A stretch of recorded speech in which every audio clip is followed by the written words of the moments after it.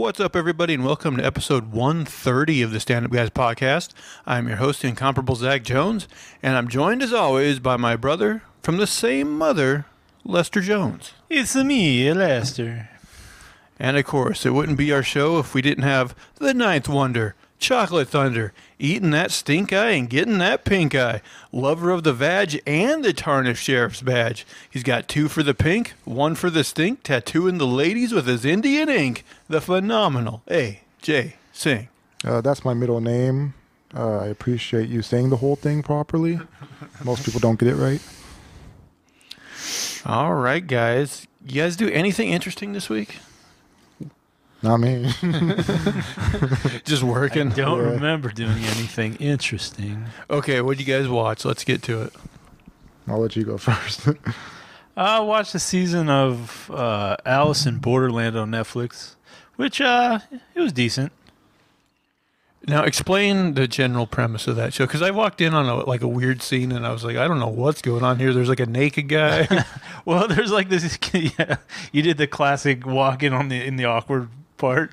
Uh, so there's something that happens, and you don't know if it's like aliens or like some government conspiracy or something. But like a handful of people get pulled out of Tokyo and put into this like identical version, but there's only a handful there.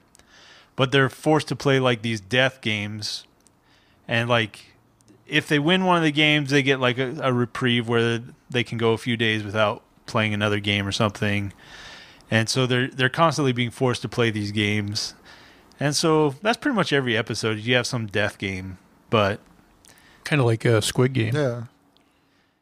yeah, it it's in that neighborhood.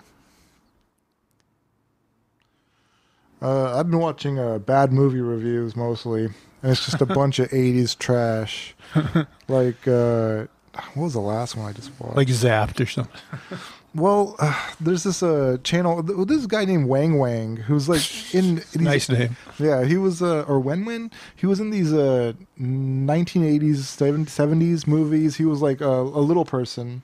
And uh, he did karate and stuff and like action stuff, you know? so he was like the big star, and all the women fell in love with him and everything. And it was just hilarious watching that movie and trying to take it seriously. Yeah, I've never heard of this guy. Yeah. I don't know where he's uh, popular. I, I mean, he was in some American stuff too. I don't know. Uh, yeah, just uh, it's just a weird time. The '80s, man. Like, it seems like they were just pumping out movies, and they were all really silly.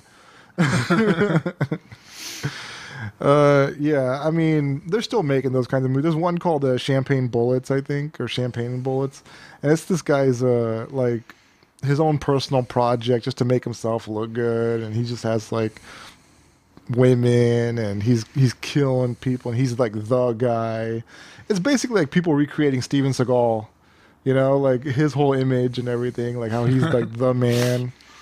It's nuts. But yeah it's fun watching people's egos you know play on screen I know, like, um, like I've mentioned before, I listened to that Quentin Tarantino podcast, and he said he thought like the '80s were largely terrible as far as like the mainstream movies that were coming out. i think everybody was on drugs in the 80s Well, he, he said that like he thought like he, he loves like the '70s because he said it was very experimental, and like he even said the '90s were like a good time for like indie film and experimental film. But like something about the movies coming out in the '80s, they, he thought they were just like don't- dumbed down Yeah, just- exactly. just pushing out like garbage for people to eat up.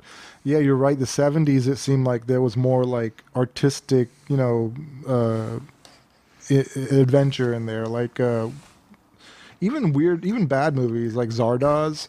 Like it, it's like this uh, Sean Connery movie, I think. Uh, I, I I I know of it, and I've seen that picture okay, of him okay. because I think they did do it on How Did This Get Made. Is that like the red bikini strap thing? Yeah, Yeah, yeah, yeah. Okay. It sounded Uh-huh. like a very strange movie. Yeah, it is very strange, and uh, you know, it's still like you gotta give props to them trying to do what they did with that movie. You know, so yeah, I think the the '70s people were still finding their way with film in a way, and they were still trying to do like unique things. And in the '80s, they just found a, a formula, and everybody just went with it. Have you ever uh, like actually tried to watch Zardoz like yourself, or No, I have not watched it by myself. because like listening to them break it down on how did this get made, I was like, I'm not even sure they knew what it was about. I, I've seen like parts of the movie because I saw somebody else break it down also. Uh, it, it's wild. It's wild. Uh, but I kind of, I, I get where they were going with that. You know, like I see what they were trying to do, but it's just the way the whole. It doesn't look as good as it, it was maybe in their ideas in their minds. I've never cared for those like really abstract like fever dream No? movies. Okay. Nah, they just But you watched Legion, and that's like so abstract and fever dream. Yeah, and I don't know. Legion was one of those shows that did get too much like that at times for me.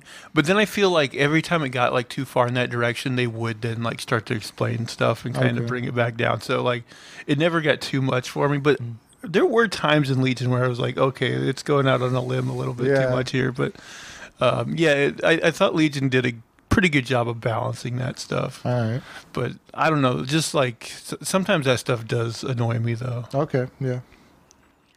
What was that black and white movie you were watching yesterday? Oh yeah, I watched the uh, Carnival of Souls. Oh, I've seen that. That's I think it's like- horrible. It wasn't it wasn't very good, but I was just looking for something, anything. You See know? that scene where they had that monkey like slamming uh, cymbals together? Is it like a, a horror movie? What is Well, it? Well, the whole thing is like in the beginning, there's like um, two cars that are like street racing or whatever, and like this girl's car goes off the bridge, and there's three girls in it, and like she comes out of the river, and the other two girls don't, and like she's wandering through the whole movie, and there's she's like seeing like ghosts and stuff, and then. You know, the big twist at the end is like she's dead. Mm. oh, the old Sixth Sense twist before the Sixth Sense. So yeah, that one was great. I watched Devil in a Blue Dress with Denzel Washington. That was pretty good. That's the other one I was going to mention because I know you you talked about it. I've heard that title before, but I, I have no idea what it's about. Yeah. Yeah, it's a it's a noir noir. Am I saying that right? Noir. yeah. noir. Struggling. yeah, but um, yeah, it, it's just um, basically Denzel. One day he gets uh, approached by this white investigator, and he wants him to go looking for this white woman, but like it's in the black part of town, so like he won't do it. He doesn't want to do it himself. And so he he gets Denzel to go down there and do it, and it's like this whole big conspiracy, and and you know typical aspects of a noir you'd expect, but uh, pretty good. So there, is there like a, a femme fatale in a blue dress? Yeah, the woman he's looking for is the woman in the blue dress. Who, who plays her? Um, I'm, I don't know her name. Oh, I don't know if I've ever seen her before. Like how old is this movie? Like a '90s movie? It's Probably 80s or 90s. Okay. I don't think I've ever heard of that one. I don't know. Denzel was pretty young, and it also had um, uh, Don Cheadle very young. So yeah, Oh. maybe the 80s. Mm, 80 seems too early. Maybe I'm wrong. It, yeah, I'm not 100. percent Well, I don't know. Like I don't know when Denzel started. Maybe the 80s. You could be right. Uh, the Um, name of the movie makes me think that she was up to something nefarious. you know, Devil in the Blue Dress. I feel like I already know the ending. I mean, that's a trope of a lot of noirs. Is you got the, the femme fatale, the beautiful woman that ends up like bringing the guy Mm-hmm. Down because she's no good or whatever. Exactly. yeah. She brings the case to him, then he solves it, and then she does that one last thing right, at the end. right. Uh, anything else of note you watched? Um, I don't remember anything else. there might have been. Man, I didn't really watch anything new. Um, just as a background show, I had kind of been putting on like the last season of American Dad, just you know something to kind of watch when I I'm used to working watch out that. or whatever, you know. Yeah. Um, I rewatched um, uh, Carnival Row season one because the second season's about to start on Amazon. That's a good show. At least I really like season one. We'll see What do they do in that show? so basically, the the premise of the show is like, um, humans Well, like there's magical creatures like in this world, like and humans, and like magical creatures are like there's a class of like what they call pixies, that like have wings and can fly, and then there's like other ones that kind of have like um, um, like ram horns on their head, and there's like all kinds. But basically, there was a war between these two human factions, and um, they were kind of a, the magical creatures got caught in the middle. But anyway, at the end of that war, basically, there's this town called the Berg, where like the humans and and the magical like beings kind of have to coexist, and there's like a lot of racism towards the the magical folk. You Really? know? Yeah. Man, they're magical. they seem cool. Uh, but basically, Orlando Bloom he pays he plays like this uh, inspector that uh, um, used to like he fought in the war, and in that time, like he fell in love with uh, a magical woman, Yeah. you know, and then um, so, so like. Uh, there, there's there's kind of like a central murder mystery that he's involved in, but it it, it also like the show like uh you know there- there's like so there's that mystery element you got the fantasy element you got like some uh, political stuff going on too and like the social commentary um but yeah it's hard to like get real deep into like the show like i don't want to spoil anything but it's good like I- would say like if you like I mean, I'm not even a big fantasy guy, and and but like, I like this show quite a bit. Some weird question just popped into my head. Sure. Like, uh, they're racist towards people who have magic. Like uh, in the X Men, they are also like racist towards mutants. Like, Right. if you ever got powers, would you ever tell anybody? Because I thought I would tell everybody. I'd be like, "Man, I can fly! Look at this! This is amazing." I mean, that's the thing that doesn't really hold up in the X Men. Like over time, like it, it was a good idea to be like, oh, like you know, uh, the X Men are uh, analogs for like gay people and like black people, and you know, and and like in the '60s or whatever, it was a novel concept. But then I think these days we're like. Yeah, we would just be like, "Oh, you got powers." It's we'd like, be that's jealous. Yeah, it's like really cool. Yeah. I mean, I guess we would be nervous of like some people that have like really strong powers, like reality and like altering. yeah, like Charles Xavier, like you know, like mind altering stuff. Mm-hmm. Um, but yeah, I don't know if if. And also, like, it's silly in Marvel that like everybody hates mutants, but like they're okay with Captain America and like Yeah, the Avengers, and- Avengers, Hulk. yeah, all these other people that are basically mutants in a, in a way, even though they're not technically mutants, you know. But I mean, that's similar to also like what Lex Luthor Lex Luthor thinks of uh, Superman, right? He's like, this guy shouldn't have all this power, so like he sees him as a threat to humanity, right? Yeah, but in the Marvel universe, like if they saw the X Men as a threat, they should see all superpowered people that's as a true. threat and kind of hate them. You know, Yeah. Yeah, maybe they should just lay that down, even though it was a very strong theme. it was like Yeah. it, it was a good idea. It's just I think yeah, I think that its day is kind of set. Yeah, it's like why the Avengers? Why not them? Yeah. Yeah. And then I also uh, rewatched Blade Runner 2049, which is just I think one of the best movies like from the last 10 years or you know, so Is Ryan Reynolds in that one? not Ryan Reynolds, uh, Ryan Gosling. Oh, okay, right, right. Yeah. And man, what a movie! Like, it's one of those movies that I'm like, I, I'm pretty sure it wasn't nominated for like any of the major Oscars, and like that to me feels like a snub. Like, like it definitely should have been like a Best Picture, Best Director nominees. I mean, it might have been nominated for like those technical awards, you know. But I don't know. Like, I think it was definitely a, a shortchanged movie. I, I think it's great. Yeah, I'm surprised. Uh, I didn't really hear much about it myself, to be honest. Like, uh, just I heard the, the release, but nobody was like raving about it or anything. Yeah, it, I mean, I people, I think people that like sci-fi like know it's great, but like it, it is one of those movies that I, I for whatever reason, I don't think it caught on. Hmm.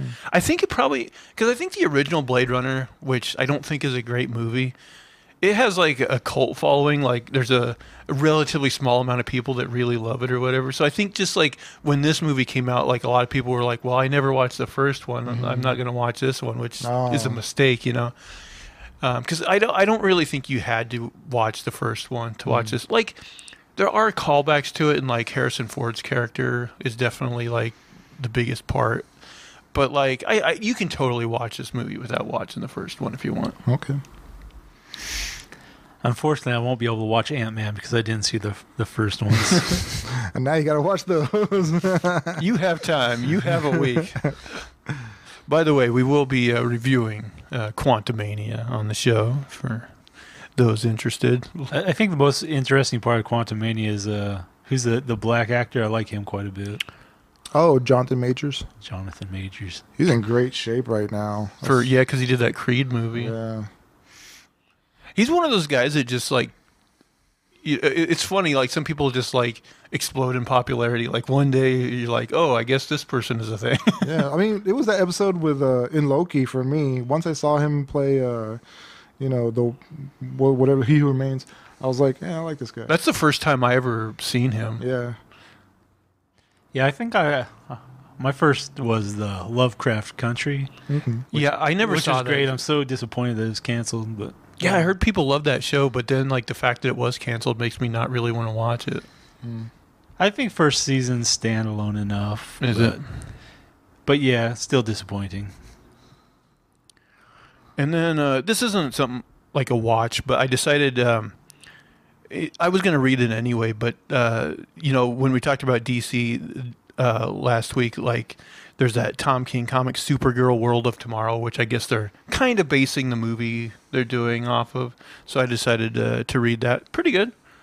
Uh, basically, the premise is like Supergirl, like um, she she's on this like planet, like basically basically like celebrating her like 21st birthday, like getting drunk, and like um, while she's there, like this teenage girl, her uh, dad, like her family's poor, they're like farmers or whatever, you know, and like her dad's murdered by this outlaw. And uh, so this girl like tries to basically employ Supergirl to like kill this guy and like avenge her father, and and so like um, she says no, but like the outlaw guy ends up like stealing Supergirl's ship, and so like the whole course of like each issue is them like trying to like follow this guy, and like usually that guy leave, leaves some sort of destruction in his wake that they have to deal with, you know, and until eventually they catch up with him. But uh, yeah, it it was pretty good. I would recommend it to people. Um. You guys got anything uh, else you want to talk about? Things you've been watching? good. Yeah, nothing I'm remembering anyway. I was hoping for more just because I, ha- I had trouble fight. Like it's been a couple like slow news Yeah. weeks, and so I was like, ah, I don't have any like uh, stories I'm loving. So, but but, but hopefully you guys do. 'cause- so uh, are you guys ready to get into story time? Sure. Uh, so anybody who hasn't watched or listened, we're going to go around the table. Everybody will bring a, a topic of conversation from around the globe, and we'll see if we can't just make something funny and or entertaining out of it. And as tradition dictates, AJ, we usually start with you. So what do you got for us? I've heard of this story before, but I thought this was just interesting. I'm always fascinated by it. Rare cancer causes man to develop an Irish accent despite not having any Irish heritage. Oh, yeah, I, I saw this headline. Like it, it is. I have heard of these stories, Yeah. you know, happening to people. It's It- it's interesting. Yeah. Yeah. An American man who has no Irish heritage whatsoever started to develop an Irish sounding accent all of a sudden because of his prostate cancer. The man, a cancer patient in his 50s, suddenly came out sounding as, he, as if he was from Ireland and continued to talk that way for the rest of his life.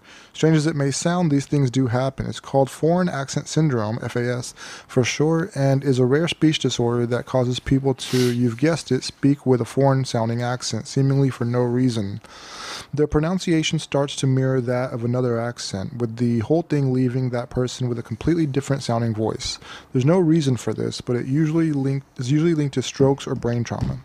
Uh, the American man suddenly developed an Irish accent, uh, Irish brogue, despite not having any Irish in him. Uh, uh, this is the first time it has been specifically linked to prostate cancer. Uh, it's such an unusual and medically confusing case that it was written about in a well respected BMJ journal.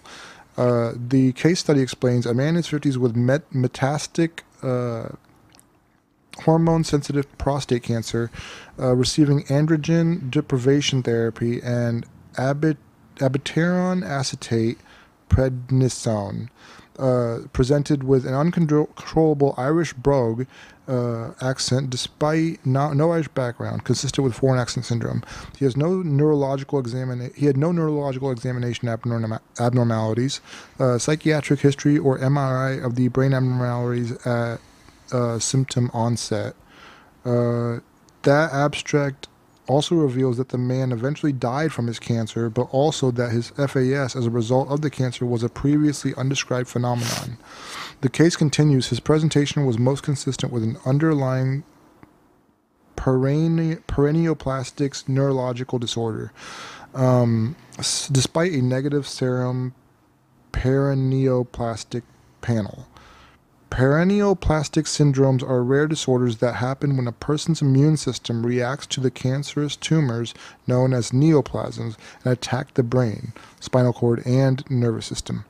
Uh, there are a number of symptoms that can be linked with PND, including loss of balance, brain inflammation, psycho. All right, so I mean, the main thing here is that a strange, like a, a an unconnected part of the body, prostate cancer, made his accent change. Like that's the first time that's ever happened. But I mean, I've heard of people going through this before, but it's weird. Like, I always thought to make a funny sketch if like somebody got this, but they developed like a really offensive, like you know Stephen Colbert Ching Chong Ding Dong Oh, like, Chinese accent or something. yeah, they like they they they take it seriously, but it's like so over the top. It's like hero. They're like, what? This is just who I am. That- I think that has potential for a pretty good sketch yeah, I can see that. Yeah. It, what the the thing is is like I don't s- like even if I try to do an accent like I can't do any accents like well. Right. So it's like I, I do wonder like this guy with the Irish accent like is it a good Irish accent? Right, right. Or Like is he is it a like- convincing one? Yeah, or is he just like faking it? And this is awful, and they're like, I guess that's Irish. It's sometimes Jamaican. It's Very inconsistent. yeah. If you get if this happened to you, what accent would you want to wake up with? Ooh, Australian. That's a good accent. I, I think I yeah Australia. I think I would probably go with either British or Irish though, Or Scottish. or Scottish. yeah, all in there. Those are all good ones, man. Mm, I don't know. I, I think I might go with Italian, just because uh, I think the ladies would like that Italian accent. I'd go with the super sexy, like Swedish. Hergen, Gergen, flirt. I had a training video the other day, and like the actors were Swedish. And I was like, this is weird. I think I would go like I want to like old school Irish, like on Banshees of Inisherin. Like I want to talk like those guys. So nobody can understand you. Yeah. or you could do like uh, Brad Pitt's character on Snatch, just like nobody can understand. I've heard that the Welsh accent is a really tough one to understand. yeah, I don't know. I've, I've heard people say it sounds like they have like a sing song type voice. But I don't know if that's when they're speaking Welsh or not. yeah, I don't know. Um, should we uh, dive into this week's manifesto, round one? All right. Uh, Steve Wozniak of Apple, um, he says Elon Musk is dishonest and he misled uh, Tesla buyers. And he says they robbed my family of so much. So I saw this headline, but I didn't read it, so I didn't know exactly what it was about. So apparently he bought a Tesla, you know, sold on the um, idea that Musk is saying it's like a full self-driving car, and and basically he said like they're not as close as they say they are. Um, here's his quote. This is his quote about driving in a Tesla. It mi- makes mistakes all the time. It's a horrible, frightening experience. I was like, well, you can't argue with that. But um, yeah, basically he's just saying, uh, you know, he's not honest. He, he's just selling things as big as he can, and it's just not true. It's just not the reality of the situation. Which I've never been in a Tesla, so I don't know. I've ridden one in an Uber. but not self-driving. He didn't. He didn't slap on the self-driving. I'm actually not sure. I would have asked him to do it. If you ever get another one, be like, "Hey, can you do the self-driving so I can see what happens?" That was the last we ever saw. Yeah, can, can we see what happens? I'm dead. Just make sure you buckle up. You know, if it worked well though, like that would make Ubering like really easy. Yeah. Just set it and forget it and make your money. Well, that's another thing. He, like he said, hey, uh, you know, if you own one of these, you could probably just set it to run errands and and make maybe like thirty grand a year or something. And so, but also like apparently, like he was talking about like a Tesla fleet of like self-driving taxis, and he's just kind of like stop talking about that anymore. Yeah. I mean, it will happen eventually. They'll Yeah. work these kinks out, but it'll take a while. Apparently, there's still some issues. I, I have seen a couple of those videos where like a Tesla stopped itself and like cars crashed right in front of it. Those, and I'm kind of like, well, that'd be kind of nice. But I also saw a video of like, you know how they they have like the high end of the sports car one, and like apparently. The acceleration on electric vehicles is crazy, and he was trying to make a very fast car. And he said like the engine's probably still good, but like like all the finishes was like he could just like pull stuff off with his hands and it just wasn't you know, you don't want to pay like a quarter of a million dollars for something mm-hmm. that's falling apart like out of the box. Oh, I was just listening to a podcast today. So apparently, like uh, not too long ago, like there was a story where like um, a family was in a Tesla and it went off a cliff, and like they were claiming, or I think the guy claimed that it, they was in autopilot mode and it was like Tesla's fault, you know. Yeah. But then like the wife like dropped a dime on the husband. Like he said something like, you know, I'm tired of this life or whatever. And like he actually Uh. like intended on killing like his whole family by like driving off the cliff, but they survived. It's like holy shit.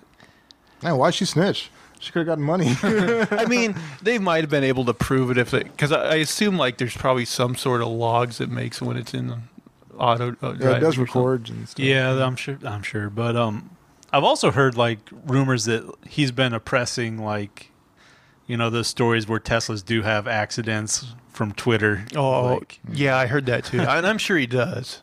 so yeah, not all free speech and bubbles over there, I guess. Yeah, you know, like he's going to use Twitter to like, or you know, yeah.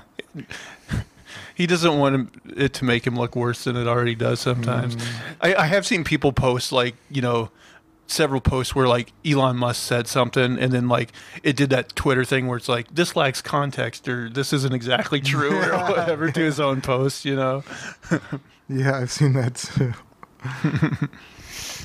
I heard he like recently fired one of his engineers because like he wasn't getting as much engagement as he wanted, and the engineer told him that you're just not as popular as you were, and he was like, "No, it's not good. No, I'm gonna fire you." Uh, any more on that one? Ah, no. Well, I, like I said, like I was having trouble finding any good uh, news stories this week, so I thought I would do a round of "Would you rather." You guys want to do that? sure. this Um, isn't like period blood and a gallon of your dad's semen again. no, these ones are a, a little easier. Um, number one, would you rather the aliens that make first contact be robotic or organic? I mean, to me, this one's easy, organic, because number one, it's just more interesting. Number two, I would be much more scared of a robot because you know who knows what AI could do. You know, it could go crazy. And like I think I've mentioned this on this podcast before, but I think if an organic being ever showed up, like the chances of it being hostile to us is very little because like it, it would have like a whole universe at its disposal for any resources it may want. So that like the chances it wants to like dominate us for our resources or even slave labor, I think, are minimal. I don't know. I don't know. I'd rather have a robot just because, like, if they had any kind of disease or something, they could wipe us all out with one person showing up, you know? So uh, I think, like, first contact should be, like, no trans- transfer of. Also, if it was an organic being, that would probably mean that they somehow like uh, discovered like you know faster than light travel or wormholes or something. Because like if it was a robot, they might have just taken the long way. Like, Yeah, that's true.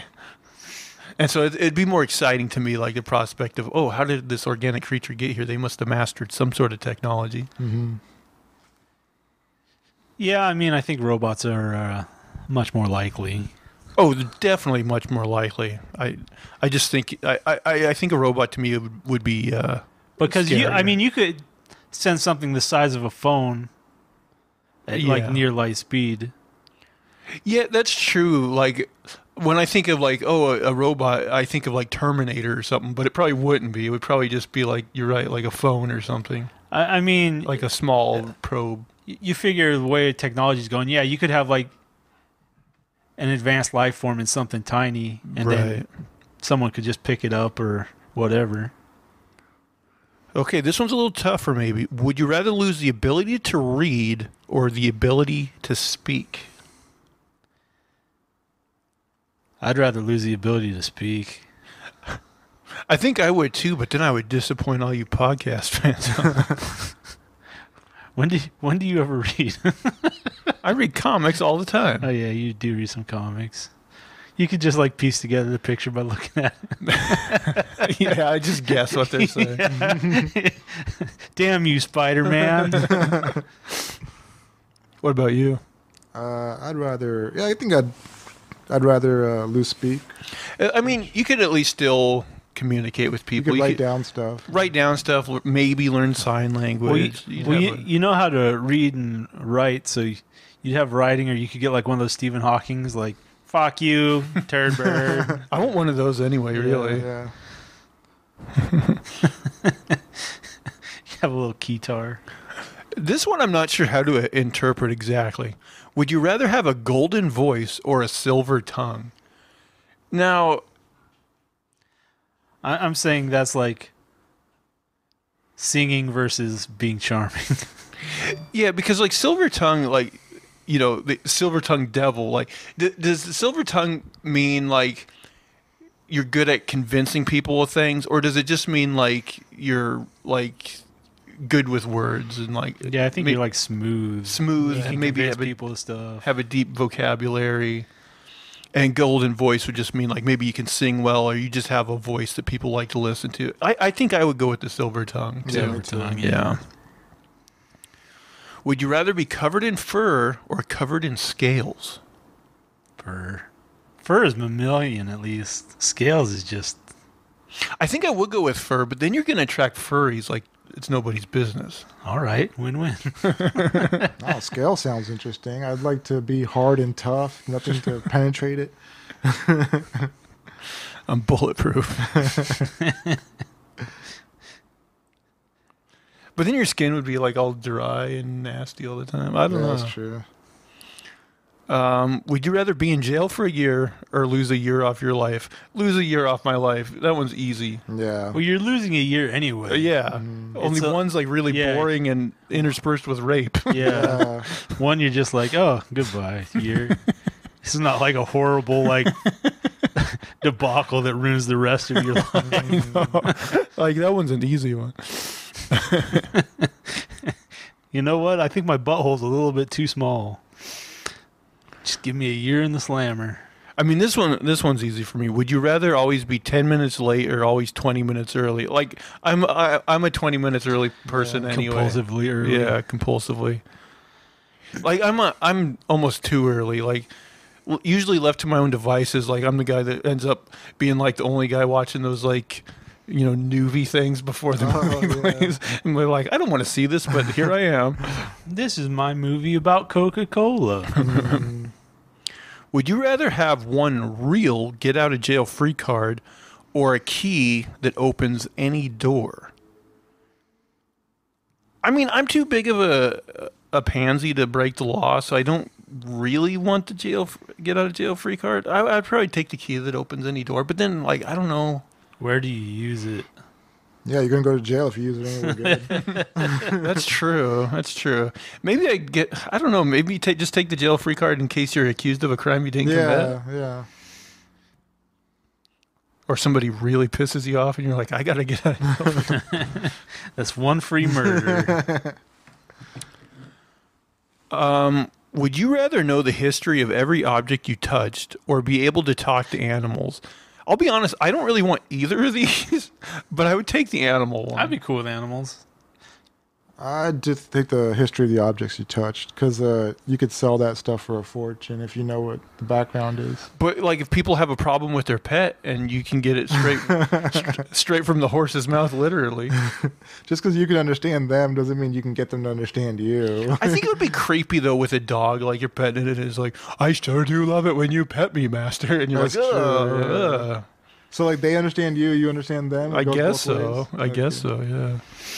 But the thing is, they still have small brains, so like they're not going to be like super intelligent. Like they're going to say stupid stuff. Yeah. He says bark.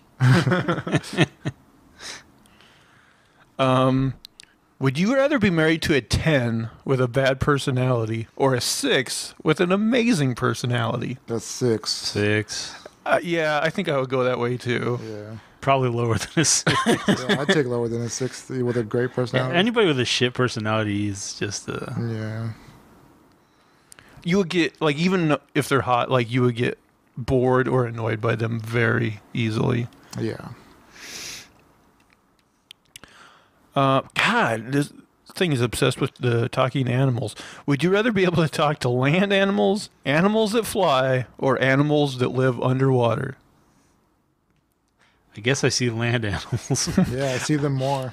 yeah, I, I- I mean, yeah, I guess that was a stupid one. Um, well, that was ten of them. Do you guys want to do more of these, or You could always talk to a parrot. Like they actually do talk. So there is one that flies. that you can- they're just like the the ones that talk though? They're basically just mimics, aren't yeah. Yeah. It'd be cool if you could just like be friends with a bear though or something. I've heard of people like that, but usually doesn't end well. Yeah. All right, I'll I'll cut it off there. That was ten of them. Uh, AJ, do you got a second story for us? Sure, sure. Instagram model left with huge uniboob after one of her implants um, imp- exploded. Uh, a Canadian social media influencer who crowned herself the Uniboob Queen after one of her massive breast implants exploded. Uh, the 30 year old claimed the title after one of her 38J implants popped, which left her with one lone boob that weighed a whopping 5 kilograms on its own. The pop the popped implant left behind a huge mass of saggy, stretched, and tattooed skin, with her breasts becoming a mere shadow of themselves. Wow, this guy really. okay. Uh, hey guys, so this is my new. This is my boob now. Basically, my breast implant popped again. So sh- she said on Again. Instagram. I know. Uh, I'm having surgery to take them out next week. I'm going back. I'm going to go back uh, to a natural look, so, uh, not just my boobs, uh, but all other parts of my body. While the OnlyFans model did not reveal how or why her gigantic implant popped, she did reveal the explosion wasn't painful. She only realized that what had happened wa- uh, when she heard the pop. Uh, fans expressed concern for her welfare in the comments section. Uh, one user said, Your body is literally telling you to stop. Man, you guys are paying to see her do this stuff. The second added, Go get that fixed. That isn't healthy. her boob popped, and they were like, That's not. You know what surprises me about these women though? Like I know there are some guys that are like obsessed with big boobs, but even those guys like they like these like crazy boobs. Yeah, these Yeah, are I- wild. These are gross. I, I saw her and like, uh, yeah, I don't understand it. Like It's who's turned on by that? That is, I mean, even if she had both of them, they're they're so big that they're just grotesque. Yeah. Like that is not a sexy look. it just doesn't look right. Does she have like face tattoos as well? Yeah. face she does. tattoos and like a ton of filler in her face. Oh, oh, that's Tats another on her thing. boobs. Like the women that get so much filler in their lips, it looks so weird and so bad. Yeah, it's hideous. That, that's another thing is like not only do women in this in America like think that all guys like like the bigger boobs, but for some reason they think we like crazy lips. we don't. Yeah, that's true. We don't give a well, I don't want to get us demonetized any more than I have. But yeah, Yeah, this no, no not guy cares about that. None of them. Now you've I got mean- like just one boob. I mean, some perky lips look nice. You know, like pe- Angelina Jolie, she had nice lips. You know, uh, Renee Zellweger had nice lips. I mean, it's one thing if a woman has naturally big lips, but with the ones that do this stuff where it's Yeah, very noticeable. This is Yeah.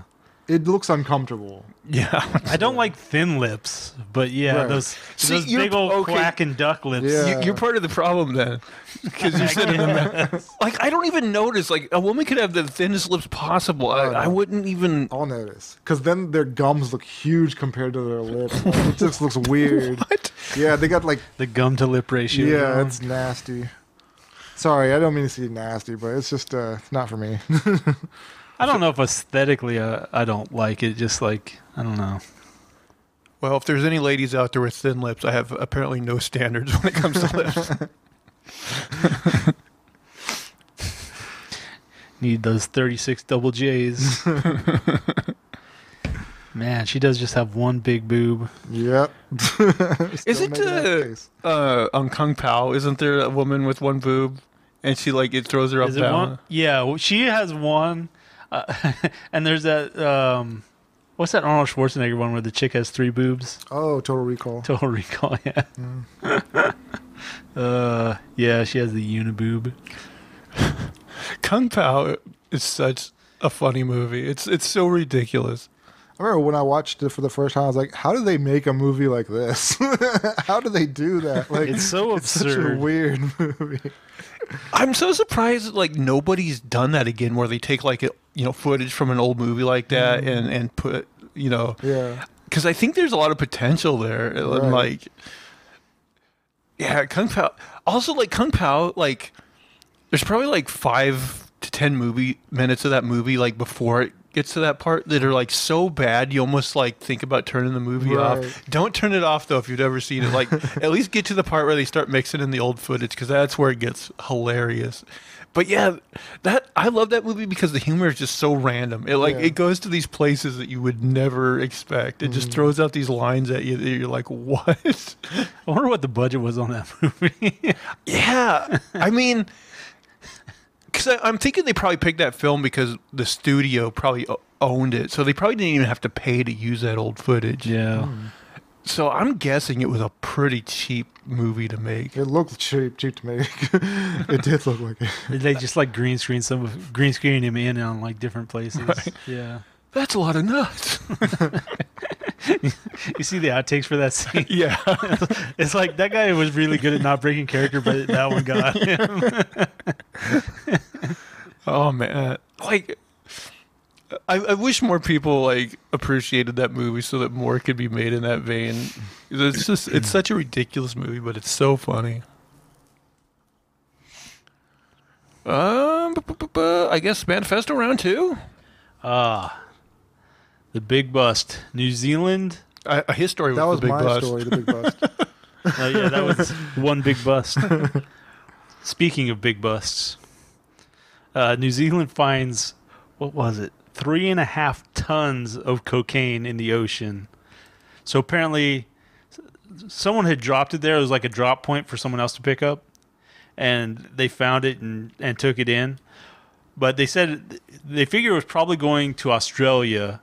Is worth probably in the neighborhood of five hundred million dollars and they said there was enough cocaine probably to service the entire Australian market for a year. Oh, That's impressive. so sad that that cocaine didn't get to its. I know. On the upside, uh, those tortoises that have the plastic sh- straws stuck in their nose, but now can make use of. they can do something with it. But you think probably like every year there's a, been a similar shipment that was like successful. Oh yeah, So it's not you're not stopping anything. You you've probably raised the price of cocaine in Australia Yeah. for for a year. But yeah. Did you guys see the trailer for that Cocaine Bear movie that's coming out? I I didn't see a trailer, but I saw the uh like a flyer, a poster. I, f- I feel like it's going to be one of those movies that people go, "Oh, this looks so silly. It's got to be great," and then they watch it and there's like, "Ugh, not very good." Yeah. It, it, There was a story, right, where like a cocaine or a bear got into a shit right. Apparently, cocaine. there was a re- a real story where like a bear got into cocaine, but uh, I That's don't. where the resemblance to the that's true where it story stops. stops. I'm pretty sure. I'm pretty sure. Watching the trailer, it looked pretty silly. So what I'll, I'll to, put it on a maybe list. What happened to the bear in real life? Like, did they die? Or? Well, I think he rampaged for a little while and then like had a heart attack. Oh no. He started like a nightclub in Miami.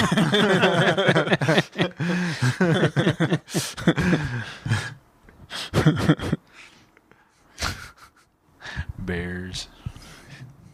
so um, all the aquatic life in, by New Zealand or whatever, they're, they're just uh, snorting coke. I, I saw another one the other day where like one of those big like sea turtles was um he had like rope like he was kind of tangled in and it had like big blocks of cocaine and he was just Oh. like hauling it across the ocean. Oh my gosh. They're gonna arrest that turtle. Where are you going with that? Uh, so I got an article here. Like, have you guys heard like they have like like a bunch of uh, weird vending machines in Japan? hmm They have women's underwear in there.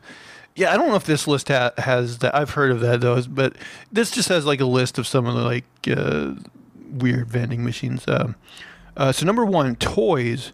Do you remember the supermarket toys of the United States? Uh, there were stickers in there, tattoos, little egg-shaped bubble containers that opened up with rings, uh, candies, or even mini figurines. Japan vending machines aren't that much different with some uh, with some selling anime figurines. It's a very typical scene in Akihabara, and they have ma- manga too. There are also some toy vending machines at JR stations in Tokyo. Uh, these sell unique and funny figurines along with popular characters and more. The sale of toys out of vending machines has uh, only increased in Japan. And you can find specialty items from specific areas, like Akita Inu plush from Akita Prefecture. So that one's not very weird. Uh, number two, alcohol. Uh, in the streets of Japan, drinking is allowed in public, and there are large parties uh, in the streets with people drinking and enjoying sh- cherry blossoms at their peak during prime cherry blossom viewing season. That sounds fun. I think that would just make culture better. Uh, because Japan is considered a paradise of drinking, uh, there are alcoholic and to the rest of us, uh, weird vending machines as well. You can find anything from beer to sake in these vending machines. Of course, you cannot just buy booze from a vending machine. Uh, you do have to scan your ID card. This is required before you can purchase anything, as this system uh, is in place to prevent minors from purchasing alcohol. Oh, you know, kids are stealing their parents' IDs For sure. for sure. Yeah, I mean, how often do you check for your ID? Like if they just took it for a day and can't put it back. Yeah, you probably never noticed. Yeah. Uh, next, bread. Have you ever seen a bread vending machine anywhere? What a delicious and perfect food to enjoy. There are mostly sweet breads on sale. For example, melon pan and donuts are the main products sold. These weird vending machines are particularly common among uh, college students and with parents and kids alike. There's nothing like a little snack to help little kids and adults ward off that hung- that hangry. Uh, next, fresh seafood. Man, Uh, these oh, might be okay in Japan, but if if you're in America and you find a vending machine with seafood, you are 100% getting sick. Yeah. I feel like this is like that Futurama where Fry eats that Oh, gas the station worms. sandwich. Um, would you eat fresh seafood out of a vending machine in Japan or anywhere else for that matter? Uh, the famous fish mark- market of Tokyo is called Tsukiji, and it's in the center of culinary culture. Here, wholesalers, small retailers, and restaurants gather. A newly opened vending machine in uh, Tsukiji even began selling fresh seafood this year. Seafood comes out frozen like other prepared food, but all you have to do is microwave it before you eat it. Ugh. Wait, so it's not fresh, fresh. Also, who's in their right mind would want to microwave fresh fish?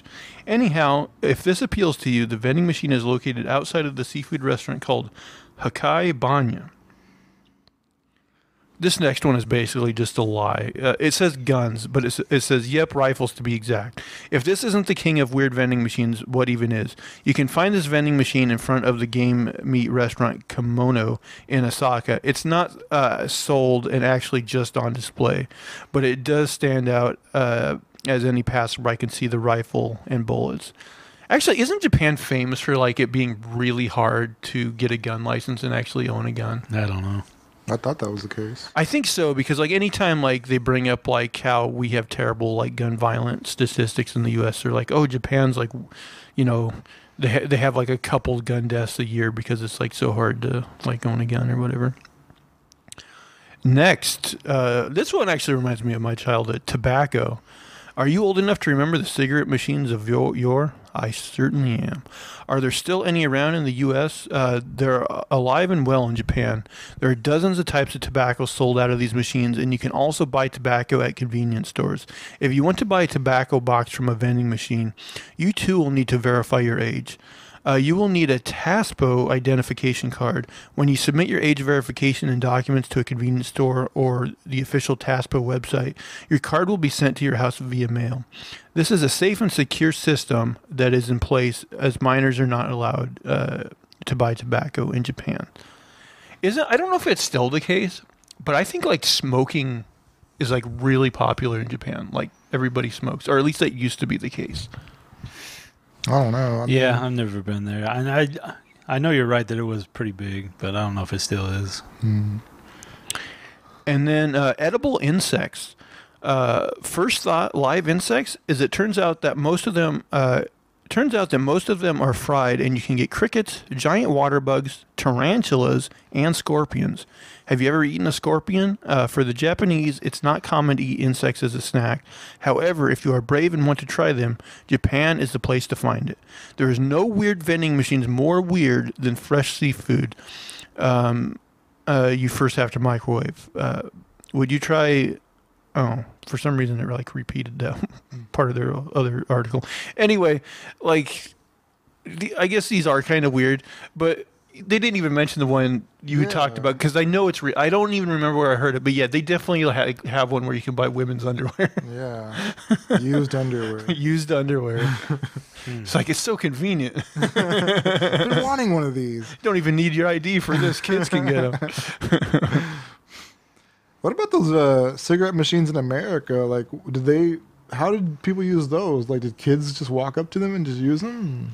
I mean, I'm trying to. I remember one in a restaurant. Yeah, there was. They used to be in like uh, a restaurant when we were kids, and yeah, it didn't have any sort of I- ID on those ones. Like, uh, I Yeah, mean, you just put your money in and pull. yeah, the- you just put your coins in or whatever, and you got your pack. But then people were smoking like fucking chimneys in the restaurant too. Oh my god! Yeah, what- that's when they still had you know the smoking non and non-smoking section. But it's What's like the point of a non? I know it's like that smoke's gonna get to you no matter what. I don't even remember like when they finally got rid of that. I mean, I- I made. w- w- Do you remember that when you were a kid, like smoking and non-smoking section? It seemed like when I was a teenager, like around or close to when I was like maybe Yeah. yeah, I'd say around early to maybe late nineties. Yeah, it had to have been somewhere around there, right? Yeah. I actually remember, like, I was actually at um, the restaurant when they um, finally took the cigarette machine out of there. Oh wow. and uh, I think I think it was like I don't know if their reasoning was like they figured it was too easy for kids because you know Yeah. they're like I said there was no idea. I mean I figure like being in a restaurant there like like if any kids were using it it's because their parent was like hey Johnny go get me a pack of smokes you know Well, you know, like our dad talks about when he was a kid, and like parents would just send kids to go buy cigarettes. Like, go buy me some cigarettes. right So yeah. These times they are a changing. uh, AJ story number three All right. Uh, let's see here. All right, this one's wild. Um, horrific reality TV show once tortured a man for 15 months. If you think the contestants on I'm a Celebrity or Survivor have it tough, wait until you hear about one poor chap who had to go through an, a Japanese reality TV show. The Squid Game style sh- uh, show saw a man tortured for 15 months, with social media users calling the show's premise sick. You can, oh, uh, Denpa Shonen, uh, which roughly translates to Do Not Proceed Crazy Youth, ran from 1998 until 2002. It placed contestants in incredibly extreme situations and observed their reactions. While the show was no stranger to some very questionable challenges, the most controversial involved struggling comedian Tomoki Hamatsu. Uh, better known as Nasubi. Nasubi translates to eggplant, uh, which was the graphic used to cover up the comedian's genitals when he was naked on air. Uh, dubbed the most evil live stream ever, the game show began by effectively kidnapping Nasubi, ordering him to strip, and then left him in an apartment with just a bathroom and an empty kitchen. The challenge was to test Nasubi's endurance and ability to survive in such cruel conditions. Uh, without anything to entertain himself, the only thing the apartment had were a bunch of magazines th- with sweepstakes in them. Uh, the point of the game show was that Nasubi was challenged to raise 1 million yen using these sweepstakes. Once the producers explained the concept and left him to it, Nasubi said, Are you for real? The sweepstakes were also the only way to feed himself. Before his bets started paying off, he was only given a tiny piece of bread to survive on, and even that stopped after the first few weeks after which he was made to survive entirely on the sweepstakes. The door to the apartment wasn't locked during the show, but Nasubi explained on podcast the uh, This American Life that he would have had to go outside naked and ask for help if he wanted to leave. However, Nasubi added, "I don't think that's what kept me in there.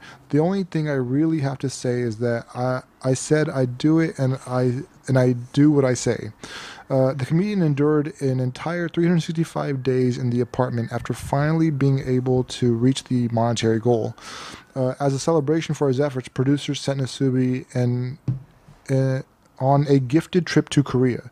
Uh, enjoying his rewards, Nasubi celebrated his victory with a few days before things really took a turn. Producers then t- uh, took him to another apartment and demanded he took took off his clothes, and the challenge was to raise money uh, again. Uh, some 16 million people around the world tuned in every week to watch Nasubi desperately struggle to make money. For four for four more grueling months, the process repeated as Nasubi was challenged to keep raising money and the and provided and the provided sweepstakes to pay for uh, a flight home. Uh, upping their quest from regular tickets to first class tickets, producers wanted to stretch out as much footage from Nasubi as possible. Nasubi eventually raised enough money to fly back home to Tokyo. Upon arrival, producers then placed Nasubi in a room that looked exactly like the uh, like the other apartments he'd become used to. Knowing the game now, the comedian began taking off his clothes. However, the room was not part of an apartment, but actually a box on the stage of a game show in front of an entire live audience. Once completely naked, the walls of the box room came down and revealed the comedian in front of thousands of people, ending the game. Nasubi had no idea his actions were being live streamed the entire time, uh, with graphics and uh, sound effects commonly mocking the comedian. Left without sufficient food, no external communication, and stripped of his clothes for 15 whole months, Nasubi's mental and physical health quickly deteriorated. Uh, speaking to Style Koriyama, Nasubi revealed everything was harsh. Every day was like hell back then. He added, I'd rather die than feel this. Uh, while Nasubi went off the radar for some time following the game show, he now regularly posts on his Twitter and YouTube accounts. Man, I hope uh, hope he got something out of it, like fame, money, stuff like that. I mean, he's gotten some fame. I mean, he has to have some fame if that many people were watching, but Yeah. that's crazy. I hope he gets money. yeah, no kidding. Yeah, it is crazy. But this story reminded me of another like headline I saw this week, and I didn't read the article, but I figured I would now. Uh, Netflix's Squid Game reality show was reportedly an inhumane disaster. Um, Squid Game, Netflix's 2021 drama about a deadly competition for a massive cash prize, captured hearts for its critical stance on capitalism. Now, Netflix is creating a real- reality spin-off called Squid Game: The Challenge, and it seems that its filming conditions aren't far from the inhumane conditions presented in the original show. Was- I, I'm thinking they're probably quite a ways away. yeah. um, with several contestants speaking out about unsafe filming environments and claiming that the game was rigged. Squid Game: The Challenge features 456 participants competing for a massive um, $4.56 million prize. While the participants in the upcoming 10 episode series compete in children's games similar to those in the original Squid Game, Netflix has been careful to let viewers know that the worst fate is going home empty handed. Uh, but based on multiple reports, conditions on the show have been difficult to say the least. Gathered in a former air hangar near London for filming, unpaid participants in Squid Game's reality spin-off reportedly faced freezing temperatures and fatigue. They had been woken up as early as 3:30 a.m. and remained on set for up to 9 hours, unable to move for long stretches of time due to the game they were playing. At least 10 participants collapsed during the first day of filming. Uh, medics were called to the set repeatedly, with one contestant even referring to the set as a war zone. Uh, people were dropping like flies. The second, um, quote, the second time the song played, I saw in my left peripheral vision that this girl was swaying. Then she just buckled, and you couldn't hear uh, her head actually hit the ground, contestant Marlene told Variety. But then someone came on the microphone and said to hold our positions because the game is not paused. After that, people were dropping like flies. Several contest- contestants also claimed that the game was rigged, citing the fact that a few influencer contestants were pre selected to move on to new rounds regardless of their results, according to Rolling Stone. Two contestants also told Rolling Stone that Netflix, which flew international contestants into London for filming, had already booked their return flights before the game games began, and these flights later turned out to occur, occur right after the contestants' eliminations uh, quote, it really wasn't a game show. It was a TV show, and uh, we were basically extras in a TV show, an anonymous contestant told Rolling Stone. Netflix, Netflix first announced casting for the spinoff in June, and players began reporting injuries shortly after filming began. We gave the original Squid Game's first seasons a 9 in our review, calling it one of the most exciting series to hit Netflix in some time. Um, do you think this show actually ever comes out, or do you think these controversies will prevent it? I don't know. It sounds like it was just fake bullshit. Sounds like a terrible idea. like the whole point of the Squid Games was to talk about how shitty that whole thing is, and like now they want to make it like, like hey, let's let's do the thing that we just did that commentary about that was so evil. I mean, I guess it gets the point across again. Like, oh, look what these people are willing to do for money. I don't know. Mm, I don't. Getting up at three thirty, it's torture. Yeah. That's definitely not- like a white person problem. yeah, but not moving for nine hours. That's that is torture. Like to not move, that's rough. I don't know. I have to get up at five every morning for work, and then I'm strapped to a desk. How many of? around? Inhumanity. it does seem, seem like inhumanity. Oh, are we done? Well, we are over the hour mark. You guys got anything else you want to add before we wrap up? Ah, I've got a depressing one, but I don't think we need to finish with that. Houston Cougars are number two in the nation. What's that? The Houston Cougars are number two in the nation. You're bragging about number two? Yeah, I'll take it. Why not? Who, who, who's number one? You've never bragged Purdue. about number two. Purdue. Yeah, they're pretty good. They got this uh, seven foot four guy who's just like Yao Minging his way around college basketball. He's just too big for anybody to stop. Houston doesn't have any No, we don't have anybody like any that. freak tallies.